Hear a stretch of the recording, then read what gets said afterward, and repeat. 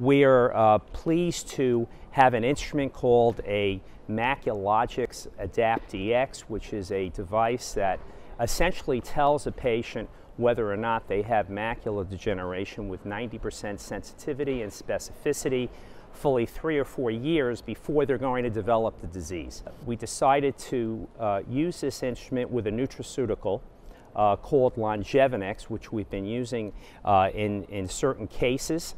And uh, this um, nutraceutical has been shown in a body of work that we've uh, published to provide enhancement of the structure and function of the retina. It may be possible uh, to uh, not only slow down the progression of AMD, but possibly uh, uh, improve the outcome and the health of the, of the retina as measured by this new clinical uh, measurement. It's a big day in modern medicine. We're uh, proud that they selected Longevinex for the research. We applaud the researchers and we take special note those people who are adult offspring of people with this eye disease will certainly want to investigate that dark adaptation test because they're at 45% risk for uh, developing vision problems.